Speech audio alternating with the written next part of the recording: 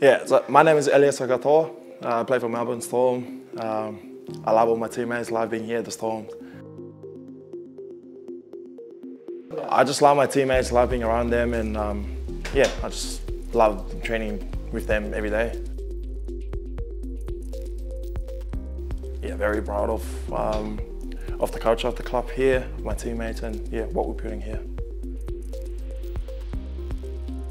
Uh, just a bit of hard work, um, you know, um, dedication. You know, I do everything I do for my family, and yeah, that's what got me here today. Because yeah, I do everything for my family.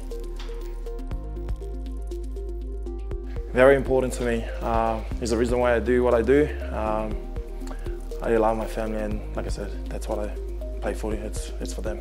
Yeah, they are very proud of me, and um, yeah, love them, love them so much. If there's anyone doing it tough in the Crossroad Rugby League, Family of League will help you.